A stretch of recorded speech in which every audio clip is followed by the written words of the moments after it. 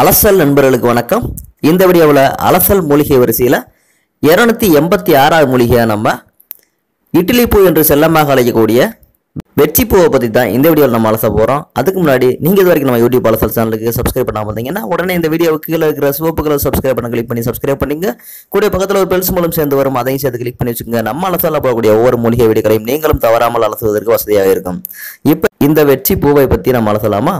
இந்த வெற்றி பூவினுடைய அறிவியல் பெயர் மற்றும் குடும்பங்களை பற்றி வீடியோவில் கொடுத்துருக்கேன். இப்போ நீங்கள் பார்த்துக்கிட்டீங்க உங்கள் ரெஃபரன்ஸ்க்காக இந்த வெற்றி பூவினுடைய வேறு பெயர்கள் என்ன அப்படின்னு பார்த்தோம்னா இட்லி பூ வெச்சி செட்டி செச்சை குள்ளை சேதாரம் தொட்டி சிந்தூரம் சுவேதகி செங்கொடுவேரி அப்படின்னு தமிழில் சில பேர்களும் jungle geranium flame of the woods jungle flame west Indian jasmine அப்படின்னு ஆங்கிலத்தில் சில பெயர்களும் இதுக்கு இருக்குது இதில் எத்தனை வகைகள் இருக்குன்னு பார்த்தோம்னா இதில் பூவினுடைய நிறத்தை பொறுத்து வெள்ளை மஞ்சள் சிவப்பு ஆரஞ்சு இளஞ்சிவப்பு ரோஸ் பிங்க் என பல வகைகளில் இது இருக்குது அது மட்டும் இல்லாமல் இந்த மூலிகையினுடைய குடும்பத்தில் வந்து ஐநூற்றி அறுபத்தி இரண்டு வகைகளுக்கு மேலே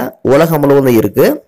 அதில் முப்பத்தி ஐந்து வகைகள் வந்து குறிப்பிட்டு சொல்லத்தக்கவையாக உள்ளன. இது எங்கே வளருது அப்படின்னு பார்த்தோம்னா இந்த இட்லி பூவானது உயரமான அடர்ந்த மலைப்பகுதிகள் முதல் சமவெளி பகுதிகள் வரை எல்லா இடங்களிலும் வளரக்கூடிய மூலிகை தாவரமாக உள்ளது. இந்த பூவினுடைய அழகின் கவர்ச்சியால் நிறைய மக்கள் இதை வீடுகள் அலுவலகங்கள் பூங்காக்கள் ரயில் நிலையங்கள் போன்ற பல இடங்களிலும் விரும்பி வளர்க்குறாங்க இதை பற்றி ஒரு சின்ன அறிமுகத்தை பார்த்துடலாம். இந்த வெற்றி பூவானது குறிஞ்சி நிலத்தை அதாவது மலைப்பகுதிகளில் வளரக்கூடிய சங்க காலம் தொட்டு பயன்பாட்டில் இருந்து வரக்கூடிய தமிழ்நாட்டினுடைய பழம்பெருமை மிக்க மலர்களில் ஒன்று இந்த வெற்றியாகும். வெண்மை நிற வெற்றியினுடைய மலர்ந்த பூக்கள் உள்ள கொத்து பார்ப்பதற்கு ஒரு இட்லி போன்ற வளைவான தோற்றத்தை கொடுத்ததால இதற்கு பிற்காலத்தில் இட்லி பூ அப்படின்னு காரண பெயராக வந்தது. அதே போல இதற்கு உள்ள செங்கொடுவேரி என்ற பெயர் கொடுவேலி மூலிகை இனத்தை குறிக்கும் பெயர் கிடையாது. கொடுவேலி என்பது வேறு கொடுவேரி என்பது வேறு ரெண்டும் வேற வேற. இதை கொண்டு போய் அதில் சேர்த்து குழம்பிக்கிறாங்க சரியா?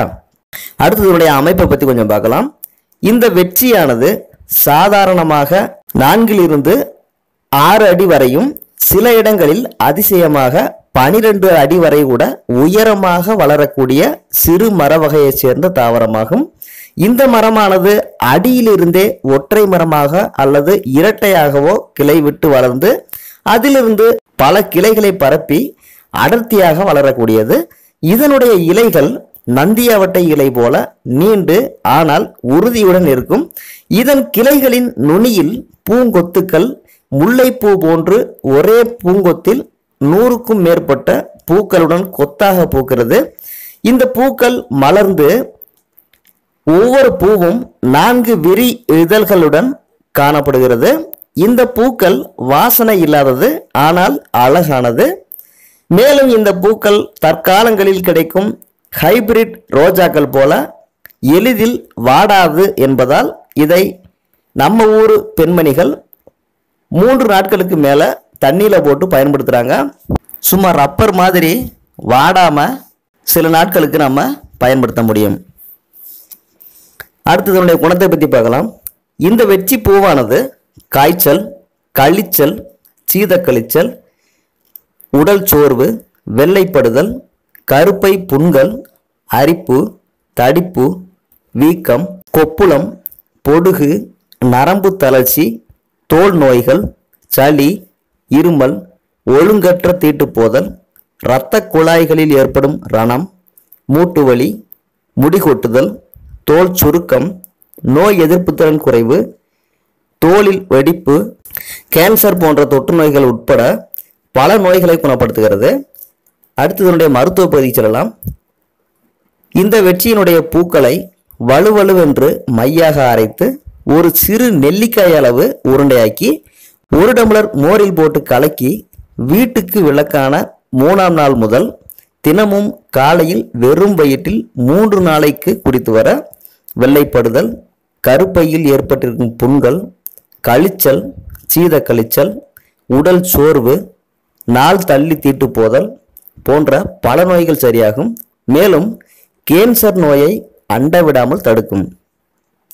அடுத்து இந்த வெச்சிப்பூ ஒரு கைப்பிடி அளவுக்கு எடுத்து ஒரு லிட்டர் நீரில் போட்டு சுண்ட காய்ச்சி வடிகட்டி இதில் பணங்கள் கண்டு தேவையான அளவுக்கு கலந்து நூறு முதல் நூற்றி ஐம்பது மில்லி வரை குடித்து வர கழிச்சல் உடல் அசதி காய்ச்சல் குடல் புண்கள் இரத்த ஓட்டத்தில் சீர்கேடு போன்ற பல நோய்கள் சரியாகி உடலில் நோய் எதிர்ப்பு திறன் கூடும்.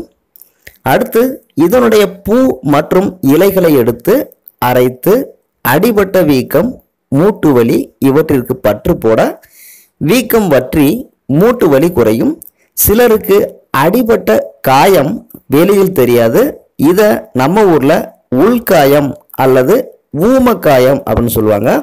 இதற்கும் இந்த பசையை வந்து மேல் பூச்சா தடவலாம் சரியாகிடும் அது தடவுறதுக்கு முன்னாடி சு- சுடுநீர்ல ஒத்தடம் கொடுத்துட்டு அதுக்கப்புறமா இந்த இந்த பசையை வந்து தடவனோம்னா சரியாயிரும்.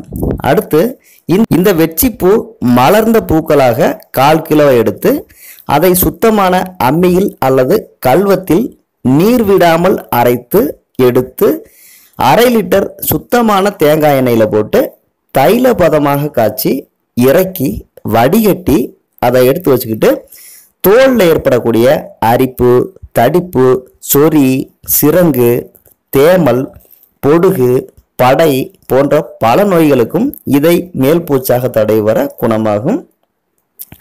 இதனுடைய பூக்கள் மட்டுமல்ல இந்த செடியினுடைய கொழுந்து முதல் வேர் வரை எல்லாமே ஒரே குணத்தை கொண்டதாகத்தான் இருக்கிறது. இதில் எதை வேண்டுமானாலும் நம்ம வந்து மருந்தாக பயன்படுத்தலாம். இதனுடைய பட்டையை வந்து ஒரு இருபது கிராம் அளவுக்கு வெட்டி இது கூட மிளகு சுக்கு இது எல்லாத்தையும் வந்து ஐந்து கிராம் அளவுக்கு கூட்டி கஷாயமாக காய்ச்சி குடிச்சிட்டு வந்தோம்னா இருமல் சளி போன்ற பல பிரச்சனைகளை சரி பண்ணும். அது மட்டுமல்ல இந்த பூவை வீட்டின் முன்பு வைத்தால் கண் திஷ்டி ஓமளிப்பு போன்றவை நீங்கும். எதிரிகளுக்கு பயத்தை கொடுக்கக்கூடியது. தினமும் காலையில் இந்த பூக்களை நாம் பார்த்துவிட்டு சென்றால் எதையும் வெல்லக்கூடிய தைரியத்தை நம் மனதிற்கு கொடுத்து வெற்றி பெற செய்யும் சூட்சுமமான சக்தி உடையது இந்த வெற்றிப்பூ. இதனால தான் பண்டை காலத்தில் நம்ம தமிழ் மன்னர்கள் போருக்கு போகும்போது இந்த பூவை வந்து தலையில் சூடி போருக்கு போயிருக்காங்க. இது எப்படி இனவிருத்தி ஆகுதுன்னு பார்த்தோம்னா இந்த வெற்றியானது இதனுடைய விதைகள் மூலம் இனவிருத்தி ஆகிறது இதை வீடுகளில் வளர்த்தால் வீட்டுக்கு அழகு நம்ம வீட்டு பெண்களுக்கு அழகு இந்த அழகோடு ஆரோக்கியத்தையும் சேர்த்து கொடுக்க கொடுக்கக்கூடியது என்பதால் வீடுகளில் காம்பவுண்டு சுவர்களுக்கு அருகில் இவற்றை வளர்த்து நம்ம வந்து பயன்பெறலாம். முக்கியமாக வாயில் படிக்கு எதிர்த்தாப்பில் இருக்கக்கூடிய காம்பவுண்டு சுவருக்கு பக்கத்தில் வச்சோம்னா நமக்கு வந்து நல்ல பலன்களை பெற முடியும். இந்த வீடியோவில் நம்ம வெற்றி என்று சொல்லக்கூடிய இட்லி பூ மூலிகையை பற்றி அலசணும் இந்த வீடியோ பிடிச்சிருந்ததுன்னா மறக்காமல் லைக் பண்ணுங்கள் ஷேர் பண்ணுங்கள் கமெண்ட் பண்ணுங்கள் மீண்டும் இதே போன்ற ஒரு அருமையான அபூர்வமான அதிசயமான பல மூலிகைகள் நலசலோடு உங்களோடு இணைந்து அலசும் வரை உங்களிடமிருந்து விடைபெற்றுக் கொள்ளும் நான் உங்கள் நல்ல சாமி. வணக்கம் நண்பர்களே. நன்றி.